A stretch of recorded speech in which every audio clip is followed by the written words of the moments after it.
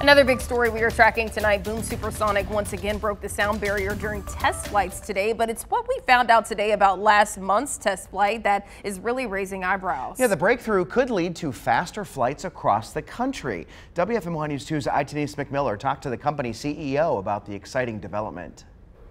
Yeah, Chad, a small team of 50 people did something never done before fly faster than the speed of sound without a sonic boom. That's the loud noise an airplane makes when it travels faster than the speed of sound. The CEO tells me this was something they didn't think was possible, but learned along the way the sky may not be the limit to what they can achieve.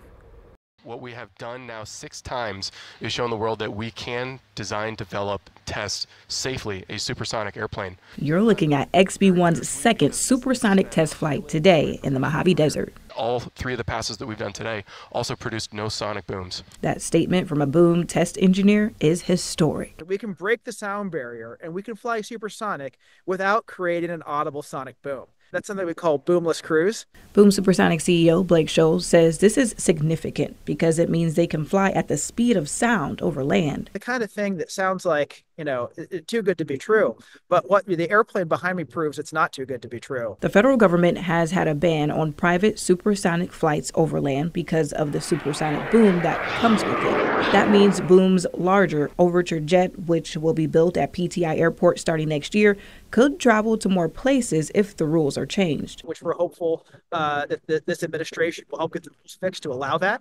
There's an opportunity for us to see more business come to Greensboro um, if this in- indeed does mean that there will be more airplanes ordered because there are more markets now available to this faster flying. Boom already has contracts with three airlines United, American, and Japan. Scholl says they'll need to increase production because they anticipate the market for supersonic flights to increase. We were already planning to create, uh, you know, over 2,000 jobs in Greensboro at the super factory where we'll be assembling Overture. And with the market getting larger, that means we're going to need even more talented men and women to help put these airplanes together. City leaders say they knew going into this partnership there would be changes, and they're ready to soar with this latest news. In Greensboro, I, Denise McMillan, WFMY News 2.